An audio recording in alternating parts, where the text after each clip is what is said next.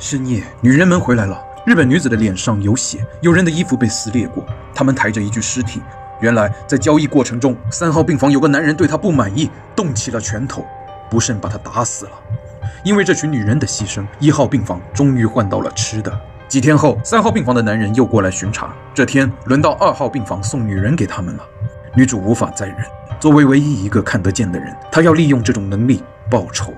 她拿起剪刀。在三号病房交易的时候，悄悄潜了进去。他走到三号病房的老大背后，刺死了这个混蛋。混乱中，胖盲人捡起老大的枪，开枪了。女主带着可怜的女人们逃跑，胖盲人不断开枪，却打死了自己。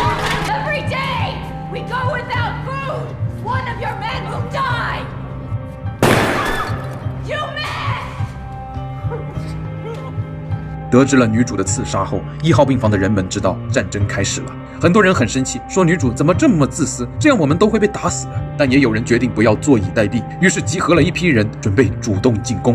这时，有个沉默的女人悄悄走了出来，她是那个不幸遇害的女人的好朋友。这天深夜，她一个人悄悄走向了三号病房，门口有男人在守卫，但她悄无声息，靠着墙一点一点移动，然后在门口，她点开了打火机。点着了三号病房门口的杂物，很快三号病房就燃起了大火。所有人都是盲人，谁也灭不了火。这群恶徒终于自食其果了。那个作恶多端的胖盲人到处开枪，已经完全疯狂。最后他开枪自杀了。女主把隔离所的盲人都拉到院子里来，大喊着守卫的士兵，但无人回应。怎么回事？她打开了铁门，守卫们早就不见了，他们自由了。女主带着一群人往外走，整个世界已经是一片荒凉。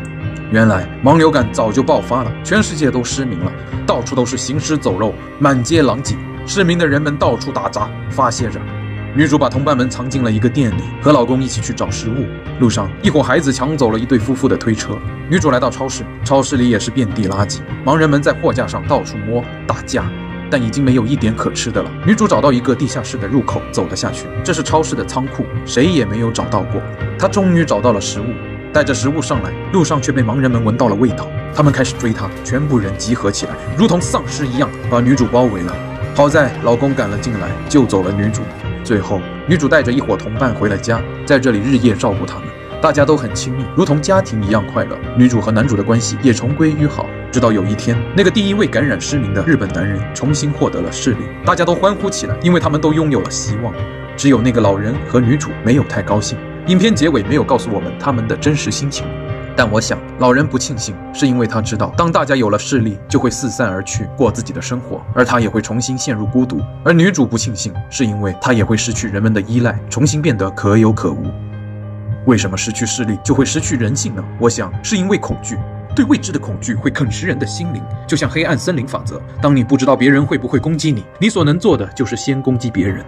而当人们有了安全感之后，心中的神性又迸发出来，互相照顾，其乐融融。这也是为什么在任何时候，我们都需要拥有爱，拥有家庭，拥有陪伴。他们能使我们安全，使我们温暖，而最重要的是使我们强大。我是毒蛇，记得点赞、关注，爱你们。